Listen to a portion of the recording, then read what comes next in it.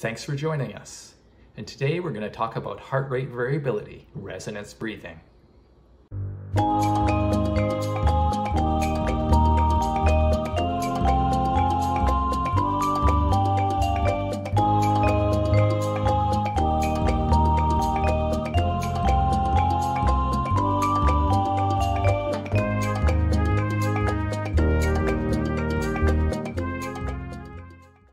So heart rate variability is not a new idea. We've known about it since the 1840s. And it was discovered in 1847 by Dr. Carl Ludwig, who called it respiratory sinus arrhythmia. What that basically means is that when you breathe in, your heart rate goes up. And when you breathe out, your heart rate goes down. In the 1970s and 1980s, Dr. Richard Gevirtz pioneered work with children who were suffering from a variety of developmental disorders. He used slow breathing training.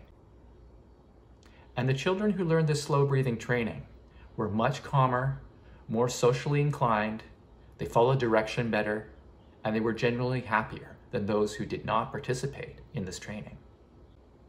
He concluded that the slow breathing training brings the parasympathetic and sympathetic nervous systems into balance. Recently, Forrest Knutson, who has revolutionized Kriya Yoga, has developed heart rate variability resonance breathing. Heart rate variability resonance breathing is a foundation, a cornerstone of meditation practice. Heart rate variability resonance breathing is part of the genius of yoga, affecting the mind by calming the body. The essential conditions for heart rate variability resonance are the following. You need to breathe at seven breaths per minute or less so that's an inhale at the very minimum of four seconds and an exhale for five seconds. You need to take out the pauses between the breaths, so no pause at the top and no pause at the bottom of the breath. You need to sit very still. And finally, you need to make the out breath slightly longer than the in breath. By practicing heart rate variability resonance breathing in this way, it will lead you to experience the signs of the freeze response. So your hands being hot and heavy, a pulsation in your lower lip, tingling up and down your spine, or tingling throughout your entire body.